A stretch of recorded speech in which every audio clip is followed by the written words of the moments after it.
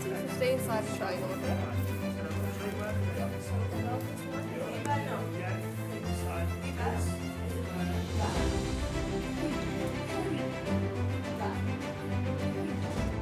The art program is a very interactive and fun and engaging program. There is no right and wrong in art and this is not what we're trying to do. We're not trying to produce perfect paintings.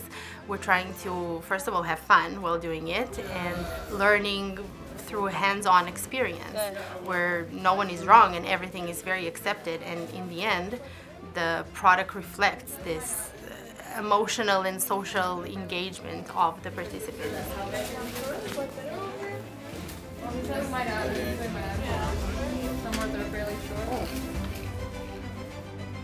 The boundaries of knowledge were pushed and participants were treated like an absolute adult um, with their own merits and histories and every class was relating to their experiences. There was an input coming from the participants themselves and they were completely involved in the process of not only making the, fin the final product but also the learning process.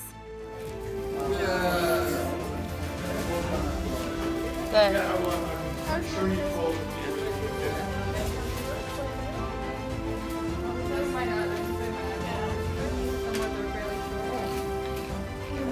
And what we noticed shortly after we started the class is a huge and significant increase in uh, motivation and engagement and interest.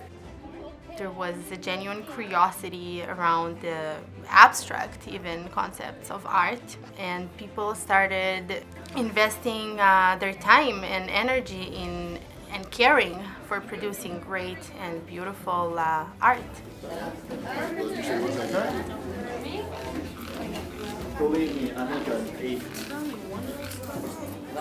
In the creative process of um, making art, participants are sometimes put to work together, and what we see happening is that they flawlessly communicate with each other, uh, taking turns, um, not being in each other's space, and they're completely sharing the art making. And I think it's because art is um, somehow innate. There's a desire to create and self-express um, and art gives gives an opportunity to do that. Girl. You should be sitting though, okay?